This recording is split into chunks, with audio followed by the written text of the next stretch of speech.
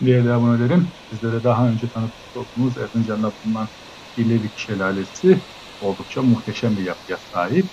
Ancak bu şelaleye gelen e, suyu nereden geldiğini takip edecek olursanız yaklaşık 4 5 kilometre kadar kuzey tarafında Muzur Dağları'nın artık bitme noktasında taşların arasından e, oldukça muhteşem bir su kaynağının gödelerin çıktığını görebilirsiniz. Burası bir nevi bir göze yapısı. Siz buraya artık yakınlarda bulunan Kırklar e, türbesi nedeniyle e, Kırklar e, Gülleri kaynağı ya da Kırklar Gülleri e, Gözesi adı verebiliriz. Resmi bir ismi yok. E, bölgede e, ulaşım oldukça zor. Özellikle son 500-600 metresinde arabayla gitmek oldukça zor. Arabayı köy içinde bırakıp buradan yürümek daha mantıklı.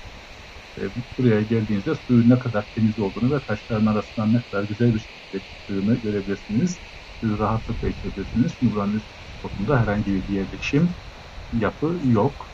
E, hemen arkasında bulunan dağın muhteşem bir şekilde yükselişi, e, çevredeki yeşil alanlar, ağaçlar, suyun sesi sizi bambaşka bir yere götürecek bir nevi cennet e, hissi size duracaktır. E, Girlevik Şelalesi'ni gezerken uygun aracınız varsa buraya kadar çıkmanızı da sizlere tavsiye ederim.